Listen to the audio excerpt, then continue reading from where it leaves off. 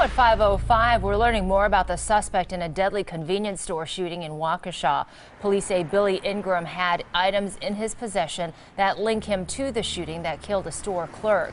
Officers recovered a handgun, the clerk's cell phone, and some blood-stained money.